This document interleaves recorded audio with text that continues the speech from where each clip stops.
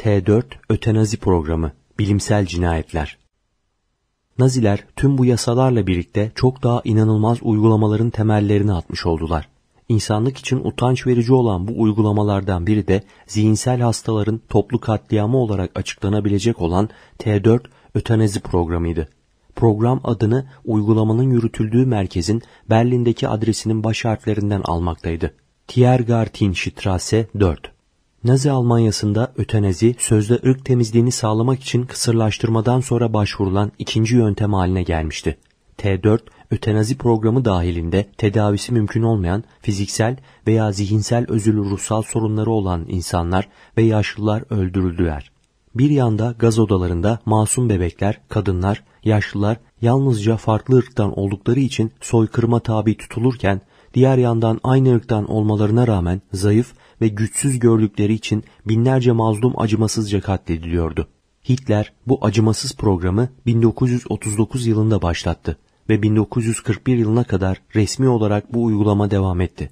Ancak cinayetler 1945 yılında Nazilerin yenilgisine kadar gayri resmi olarak sürdürüldü.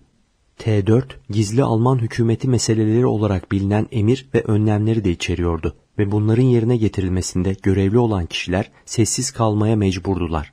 Nazi dönemindeki ötenazi uygulamaları konusunda fazla bilgi edinilmemesinin en önemli nedenlerinden biri bu program dahilinde eğitilen ve kullanılan personelin daha sonra savaşın en tehlikeli cephelerine asker olarak gönderilmeleriydi. Bunlardan biri Yugoslavya cephesiydi.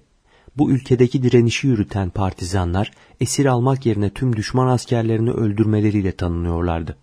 Ötenazi tanıklarının büyük bir çoğunluğu da bu cepheye gönderilerek ortadan kaldırılmıştı. Almanya'da sözde ırksal temizliğin kurucusu olan Alfred Poletz, Irksal Temizliğin Temel Taslağı adlı kitabında hastaların ve engellilerin öldürülmesinden ilk bahseden kişilerden biri oldu. Poletz'in sapkın mantık örgüsüne göre zayıfların ve hastaların korunmaları ve bakılmaları ırkın korunması ve temizliği açısından son derece yanlıştı. Bu sapkın düşünceye göre zayıflar elenmeleri gereken yerde korunup yaşatılıyorlardı. Poletz özürlü ve kusurlu doğan bir bebeğin doktorlar kurulu tarafından verilecek az dozda morfinle hemen öldürülmesi gerektiğini öne sürecek kadar zalimdi. Politsi diğerleri izledi.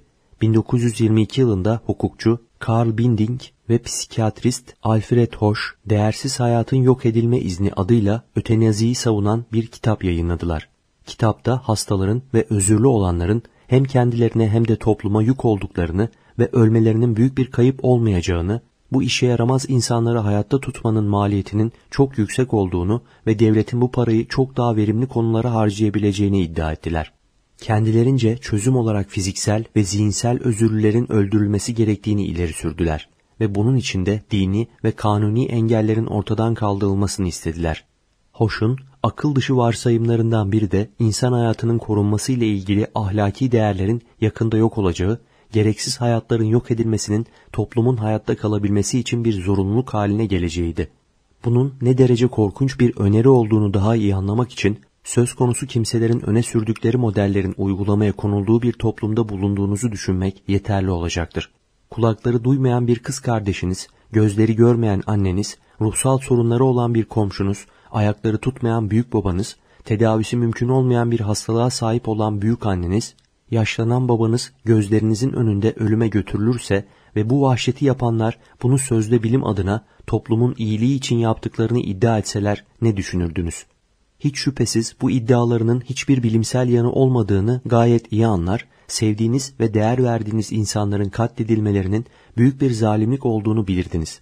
Bu iddiaların bunalımlı zihinlerin ürünü hezyanlar olduğunu kavramanız hiç de zor olmazdı. Uygulanan vahşetin size ve tüm tanıdıklarınıza tarifi mümkün olmayan acılar yaşatacağı da açıktır.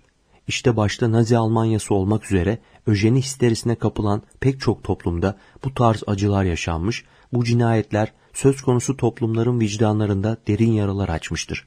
Unutulmamalıdır ki evrimcilerin yaşanan zulümlerin büyüklüğünü göz ardı edip insanlara unutturmaya çalışmaları veya bu cinayetleri yok saymak için gayret etmeleri boşunadır. Üstü ne kadar örtülmeye çalışılırsa çalışılsın gerçekler ortadadır. Darwinizmin aldatmacalarının oluşturduğu ideolojik zemin nedeniyle insanlık çok büyük acılar yaşamış, çok büyük kayıplar vermiştir. Aynı dönemde ötenazi vahşeti sadece Almanya'da değil, başta Amerika Birleşik Devletleri olmak üzere birçok ülkede yaygınlaşmaya başladı. Amerika Birleşik Devletleri'nde Rockefeller Enstitüsü'nden Doktor Alexis Carroll'ın 1935 yılında Bilinmeyen İnsan adlı kitabı yayınlandı ve bu kitap 3 yıl içinde 9 ayrı dile çevrildi. Carroll kitabının İnsanın Yeniden Yapılması adlı son bölümünde toplumsal sorunlara sözde çözüm olarak öjeni ve ötenaziyi gösterdi. Zihinsel hastaların ve suçluların uygun gazların bulundurulduğu küçük ötenazi enstitülerinde öldürülmeleri gerektiğini söyleyerek cinayeti şu sözlerle savunmaya çalışıyordu. Çok sayıda özürlü ve suçlu olması çözülmemiş bir sorundur. Bunlar normal nüfus için büyük bir yüktür. Daha önce de dikkat çektiğim gibi hapishanelerin ve akıl hastanelerinin bakımını sağlamak ve halkı gangsterlerden ve akıl hastalarından korumak için çok büyük meblağlara gerek vardır. Neden bu gereksiz ve zararlı varlıkları koruyoruz? Anormal olanlar normal olanların gelişimini engeller. Bu gerçekle dürüstçe yüzleşmek gerekir. Toplum neden suçlulardan ve akıl hastalarından daha ekonomik bir yaklaşımda kurtulmuyor? sorumluyu sorumsuzdan ayırmaya çalışmaya, suçluyu cezalandırmaya, suç işlenmesine rağmen ahlaki olarak masum olduğu düşünülenleri ayrı tutmaya devam edemeyiz. Biz insanları yargılayacak yeterlilikte değiliz. Ancak toplum sorun çıkaran tehlikeli unsurlara karşı korunmalıdır. Bu nasıl yapılabilir? Elbette gerçek sağlığın daha büyük ve bilimsel açıdan daha gelişmiş hastaneler yaparak sağlanamayacağı gibi daha büyük ve daha rahat hapishaneler inşa ederek bunu başaramayız. Almanya'da hükümet aşağı türlerin, akıl hastalarının ve suçluların çoğalmasına karşı etkin önlemler almıştır. İdeal çözüm bu tipteki tüm bireylerin tehlikeli oldukları ispat edildikten hemen sonra ortadan kaldırılmasıdır.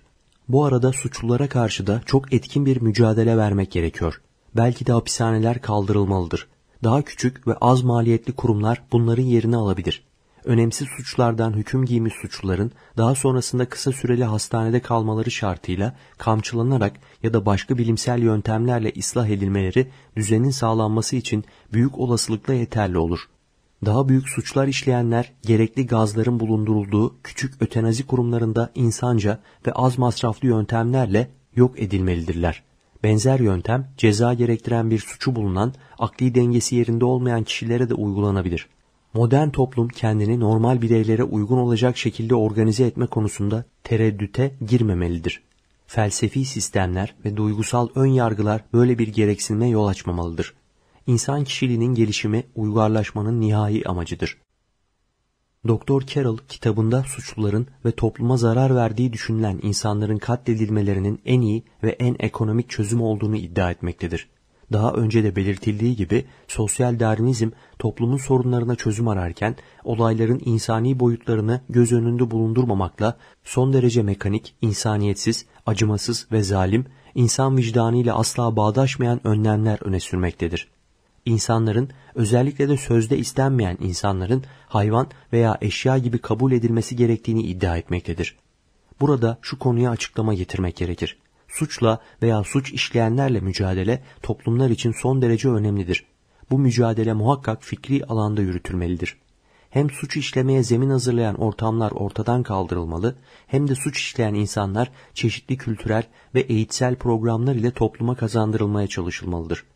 Darwinizmin insanı bir tür hayvan olarak gösteren yalanları her türlü suça zemin hazırlamakta cinayeti, hırsızlığı, tecavüzü, saldırganlığı ve her türlü kötülüğü sözde meşrulaştırmaktadır.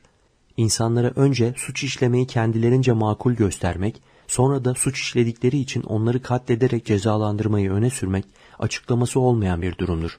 Bu nedenle yeterince bilgi sahibi olmadıkları ya da bu iddiaların neden olabileceği felaketleri düşünmedikleri için evrim teorisini savunmaya devam edenlerin tehlikenin boyutlarının farkına varmaları son derece önemlidir.